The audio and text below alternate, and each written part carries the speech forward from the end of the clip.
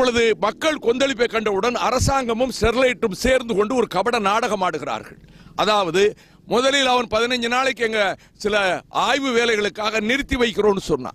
அவனுக்கு தெரியும் அரசாங்கம் நாங்கள் கொஞ்சம் நாளைக்கு லைசன்ஸை கொடுக்காம நிறுத்தி வச்சிருப்போம்னு.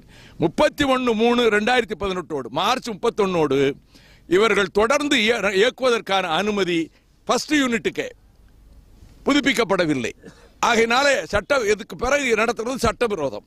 அதனால் முப்பத்தி ஒன்று மூணோடு மூடச் சொல்லி அதாவது தொ- தொடர்ந்து இயக்குவதற்கு அனுமதி கொடுக்காத நிலையில் மாசு கட்டுப்பாட்டு வாரியம் என்று சொல்லுகிறது ரெண்டாவது யூனிட்டுக்கு அதுக்கு நாங்கள் அனுமதி கொடுக்கல ரெண்டாவது யூனிட்டுக்கு நாங்கள் இதுவரைக்கும் எந்த அனுமதியும் கொடுக்கல என்று சொல்கிறார்கள். ஆனால் ரெண்டாவது யூனிட்டுக்கு அனுமதி கொடுக்கலங்கும் போது எப்படி இவ்வளவு ஆயிரக்கணக்கான நிலங்களை சிப்காட் மூலமாக கையகப்படுத்துவதற்கு நீங்கள் ஏற்பாடு செய்தீர்கள்?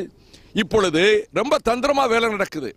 பொல்யூஷன் கண்ட்ரோல் போர்டுக்கு ஒரு அப்பர்லேட் ட்ரிபியூனல் இருக்குது தென்ம தெற்கு தென்மண்டல பசுமை தீர்ப்பாயத்துக்கு தான் ஒரு ஜட்ஜை இப்பதான் போட்டிருக்காங்க. எக்ஸ்பர்ட் இல்லை. ஆனா பொல்யூஷன் கண்ட்ரோல் போர்டுக்கு மேல ஒரு அப்பர்லேட் ட்ரிபியூனல் இருக்கு. அது ஜட்ஜஸ் ஜஸ்டிஸ் சுதந்திரம் தலைமையில். அங்கே இப்போ ஸ்டெர்லைட் என்ன பண்ணியிருக்கிறான்னா மாசு கட்டுப்பாட்டு வாரியம் எங்களுக்கு அனுமதி கொடுக்காம இருக்கிறது தப்பு.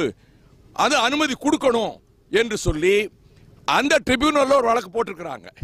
இந்த போராட்டம் தணிந்து கல்லூரிகளுக்கெல்லாம் விடுமுறை விட்டு கொஞ்ச காலம் கழித்து அனுமதி கொடுத்துக் கொள்கிறோம் என்று ஒரு மறைமுக ஒப்பந்தம் அதிமுக அரசு செய்திருக்கிறது என்று நான் பகிரங்கமாக குற்றம் சாட்டுகிறேன். எனவே தான் நாங்கள் இப்போ வந்து என்ன வேண்டுகோள் வைத்திருக்கோம்னா ஃபர்ஸ்ட் யூனிட்டுக்கு முடிஞ்சு போச்சு முப்பத்தொன்று மூணோட? பிறகு எதுக்காக நீங்கள் வந்து அப்ளிகேஷன் இனி கன்சிடரேஷனில் வச்சுருக்கிறீங்க? அனுமதி கொடுக்கல மாசு கட்டுப்பாட்டு வாரியம். மூட சொல்லி ஆர்டர் போடணும்ல? மாசு கட்டுப்பாட்டு வாரியம் அனுமதி கொடுக்கலன்னு தப்பிக்காதீங்க தமிழ்நாடு அரசு. அனுமதி கொடுக்கலன்னு சொல்றீங்கல்ல முப்பத்தொன்னுக்கு பிறகு மார்ச் முப்பத்தொன்னுக்கு பிறகு நிரந்தரமாக மூடுவதற்கு ஆர்டர் போடுங்க. செகண்ட் யூனிட் எக்ஸ்பான்ஷனுக்கு கொடுக்கவே மாட்டோம்னு திட்டவட்டமா தெரிவிங்க. இதுதான் எங்கள் கோரிக்கை. ஆலையை நிரந்தரமாக மூட வேண்டும் ஃபர்ஸ்ட் யூனிட்டை செகண்ட் யூனிட்டுக்கு எந்த அனுமதியும் கொடுக்க கூடாது. இதுதான் எங்களுடைய கோரிக்கை. எங்க வழக்கறிஞர் அதைத்தான் எடுத்து வைத்தார். நீதியரசர் செல்வமும் நீதியரசர். பஷீர் அகமது. பஷீர் அகமது அவர்களுடைய அமர்விலே வந்தது. அதாவது வழக்கு தொடுத்தவன் என்ற முறையில் ஏற்கனவே ஒரு கேஸில் பார்ட்டியின் பெர்சன் வந்து வக்கீலோட உட்காரக்கூடாதுன்னு வேறொரு மேட்டரில் வேறொரு பிரச்சனையை சொல்லியிருக்காங்க.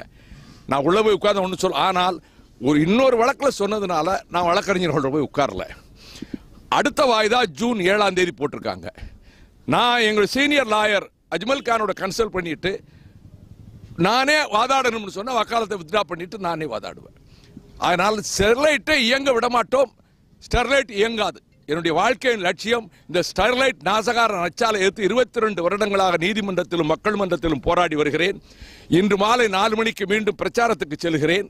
ஸ்டெர்லைட் ஆலை அங்கு ஒரு காலம் இயங்க விடமாட்டோம். தமிழ்நாடு அரசுக்கு நீங்க இந்த நாடகம் ஆனீங்கன்னா தெரு தெருவா ஊர் ஊரா போய் உங்களுடைய மோசடி வேலையை நான் எக்ஸ்போஸ் பண்ணுவேன்.